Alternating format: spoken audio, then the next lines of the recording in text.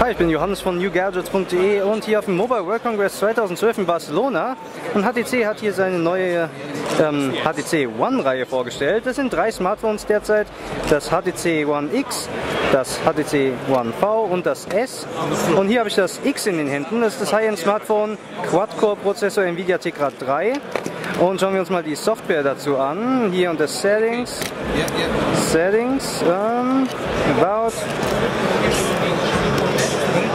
Und ihr seht hier Android 4.0.3 Ice Cream Sandwich und HTC 4 Sense, also mit der Dropbox Integration, wie schon in der Pressekonferenz gesagt, mit 25 GB ähm, Speicher.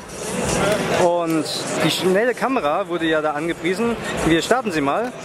Ihr seht sofort an und die Bilder können auch schnell gemacht werden.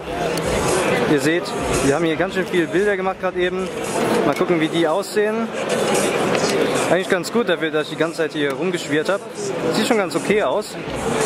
Und schauen wir uns das Gerät mal von allen Seiten an. Wir haben hier oben erstmal eine Frontkamera, hier unten drei Touch-Buttons, auf der linken Seite Micro-USB, rechts die Lautstärketasten, oben Headset-Port und Power-Button und die Kamera 8 Megapixel mit Fotolicht.